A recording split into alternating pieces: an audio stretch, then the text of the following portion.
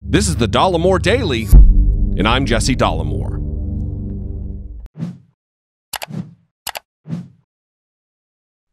This government shutdown is so bad that the youngest congresswoman in American history just had to get a second job. Apparently, New York's freshman representative, Alexandria Ocasio Cortez, moonlights as a bus driver on Twitter, where she takes Republican morons to school. And guess who just got on the AOC bus to be dropped off at tax policy preschool?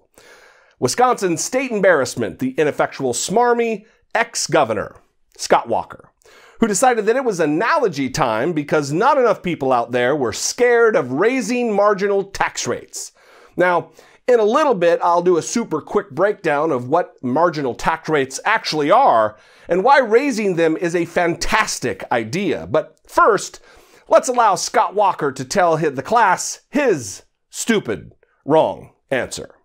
Here's the folksy little ditty he left on Twitter. Quote, explaining tax rates before Reagan to fifth graders. Imagine if you did chores for your grandma and she gave you $10. When you got home, your parents took seven from you. The student said, that's not fair. And then he ends it with, uh, even fifth graders get it. Wow, Scott Walker. You mean to tell me you did all those chores and grandma gave you all that cheddar? And then you get home and those no good sons of bitches, they took seven of your 10 American dollars that you earned. That is a sad, sad story, bro. Is this what you're always talking about when those commies in New York and Vermont say it's time that we raise taxes to 70%?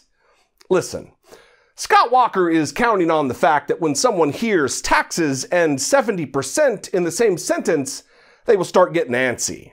He's a Republican, after all, and their governance style is fueled by fear and supercharged by assholery. Because in this little scenario, it's nonsense, through and through BS. And that's when Alexandria Ocasio Cortez swooped in and made child's work out of the absolute lying fool that is little Scotty. She tweeted, quote, explaining marginal tax rates to a far right former governor. Imagine if you did chores for your abuela and she gave you $10. When you got home, you got to keep it because it's only $10. Then we tax the billionaire in town because he's making tons of money underpaying the townspeople. Listen, that is perfect. AOC nailed it. You see, marginal tax rates cannot be explained in Scott Walker's simple little analogies because, by definition, they don't apply to small amounts like $10. They don't apply to $10,000, and often not even to a million dollars. The majority of American taxpayers would never be impacted by a hike in a marginal tax rate. When progressives talk about raising the highest marginal tax rate to 70%, they're usually talking about applying a higher rate to every additional dollar that's earned over 10 million per year. So if Scott Walker is making his rounds to fifth graders to explain basics of tax policy, maybe he should say that grandma forgot her glasses, accidentally wrote you a check for 10 million and one dollars.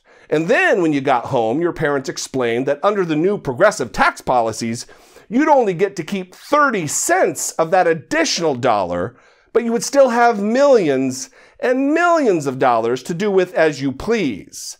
That would be a more honest example, Scott. So please, stop lying to the kids. But back to the marginal tax rates. In the post war boom of the American economy in the 50s, they went as high, the marginal tax rates, that is, went as high as 92%. I'm not even kidding. The decade to which every single right winger writes love letters. The one they drool over when they shove down a MAGA hat on their head.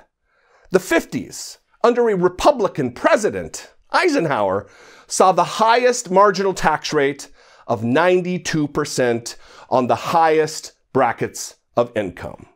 And the economy in our country flourished.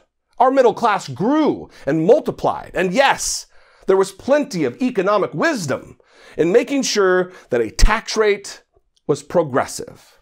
When American opportunity returned astronomically high yields to its richest citizens, they paid into the Treasury a little more off that very, very high portion of their income.